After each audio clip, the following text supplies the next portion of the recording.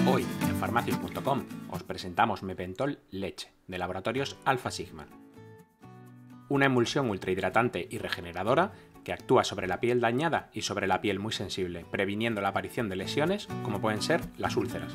Esta emulsión ha sido desarrollada para que, aplicándola de forma regular, nos ayude a prevenir y tratar la aparición de úlceras, como las úlceras de presión, en personas que tienen tendencia a desarrollar estas úlceras o en personas que están encamadas o que han sufrido algún otro tipo de lesiones cutáneas, como pueden ser las úlceras de presión, pie diabético.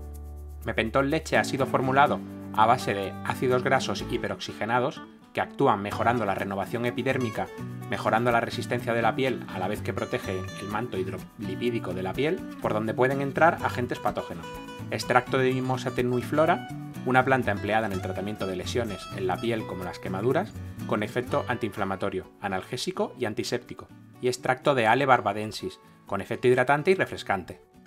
La forma de aplicar mepentol leche es muy sencilla. Se debe aplicar de 2 a 3 veces al día, en las zonas en las que hay más riesgo de desarrollar lesiones cutáneas. Extenderemos el producto con la yema de los dedos sin generar presión, con delicadeza.